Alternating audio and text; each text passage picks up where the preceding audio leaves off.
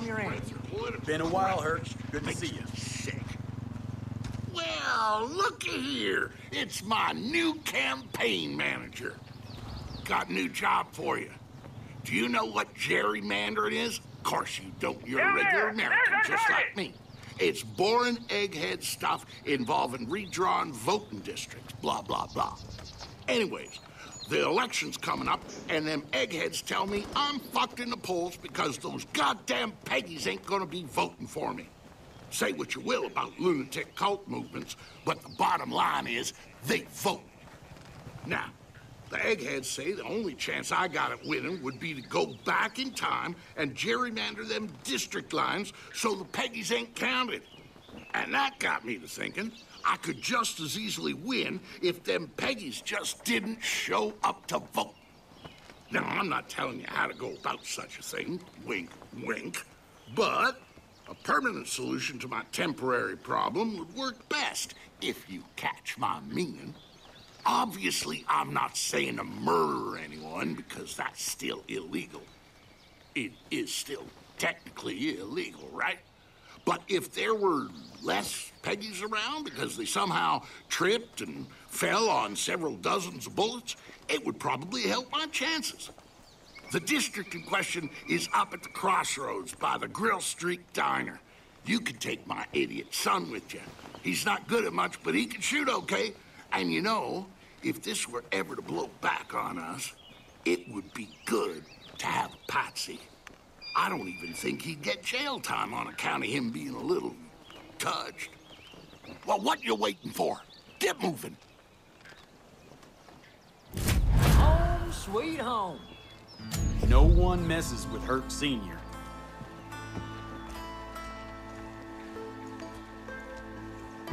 That Eli.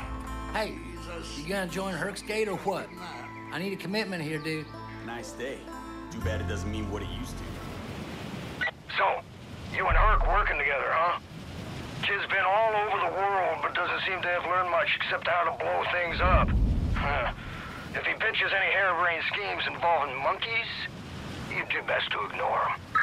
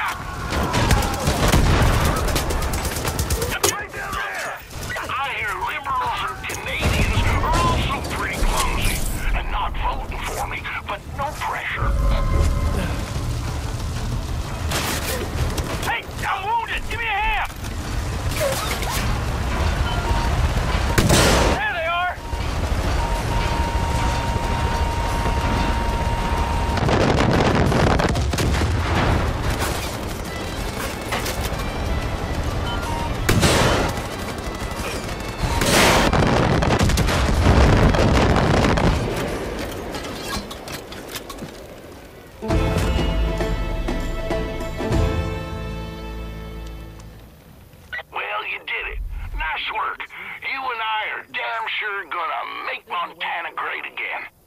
Tell you what, how about you take old Nancy? You go around cleaning up this county in that truck, and all them prospective voters will know who's got their backs. Oh, and please don't bring Hurk Jr. back. Ever.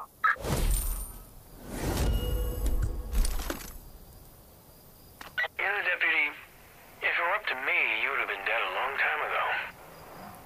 But Joseph has other ideas, and he wants to talk to you, so that's what you're gonna do. Don't worry, my hunters will bring you to him.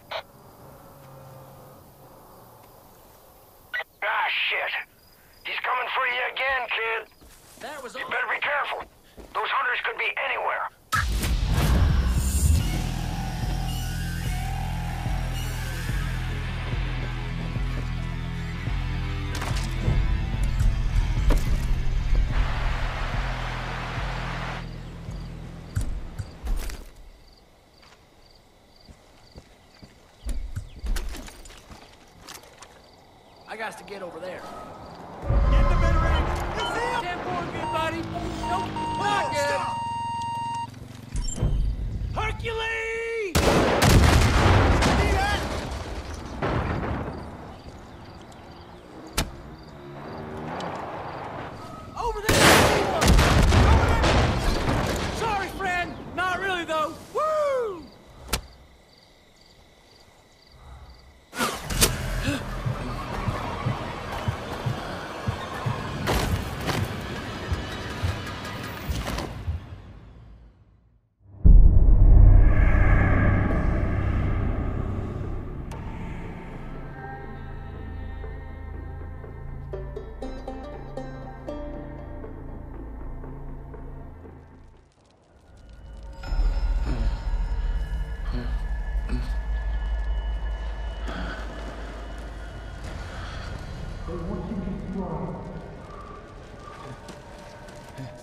One of you will be strong. Not again. Yeah, your peaches.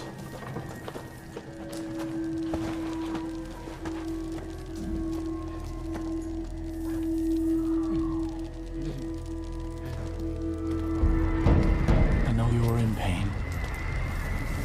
The Lord giveth and the Lord taketh. Huh? You're not the only one to be tested. Did you know that I had a wife? So beautiful, isn't she? We were pregnant with our first child. And we were just babies ourselves, really. And I was terrified of becoming a father. Mostly about money. She wasn't worried. She had faith that things were going to work out. She always had faith. And one day she was going to go visit a friend. Hmm. There was an accident. The Lord take it. They rushed me to a hospital and put me in a room with this little pink bundle stuffed with tubes. And they said that I had to be strong because my little girl was going to live. God was looking out for our daughter. And they left me a, alone in the room with her. I just stared at my daughter. So helpless so innocent.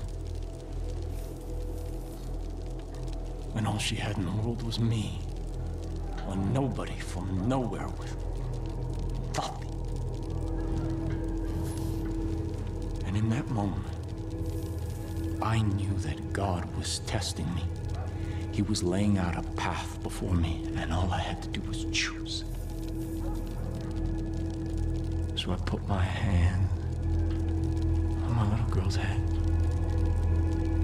And I leaned in and I could smell her. And we prayed together. Prayed for wisdom. Prayed for strength.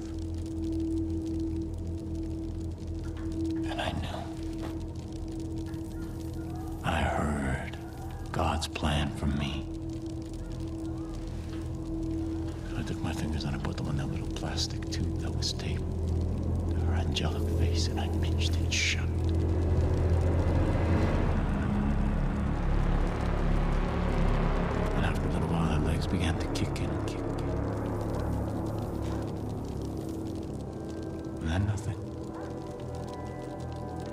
Stillness. Release. The Lord giveth, and the Lord taketh.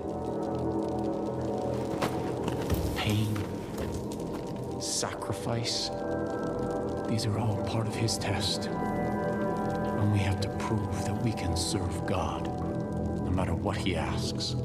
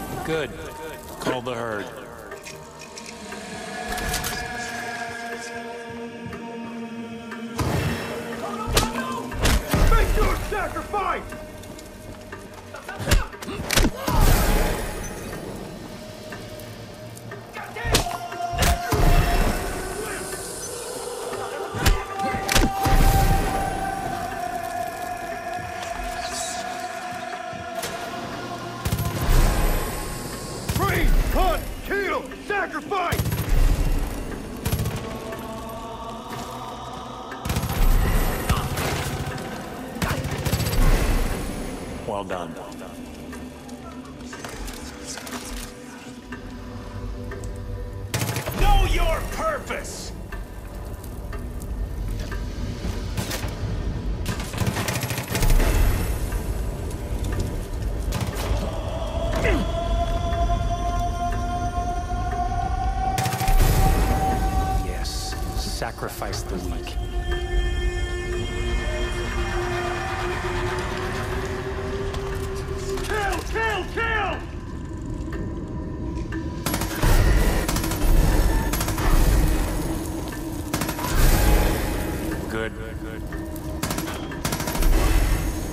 Bad. Make your sacrifice!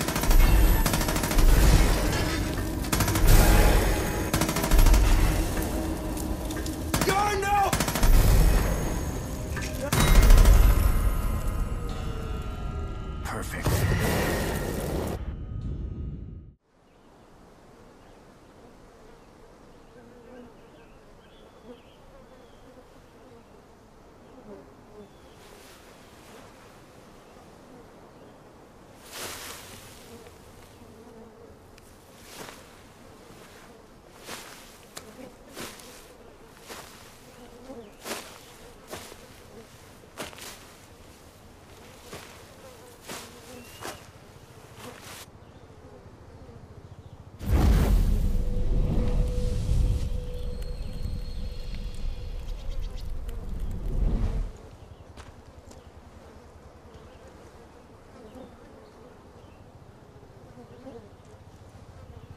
Deputy?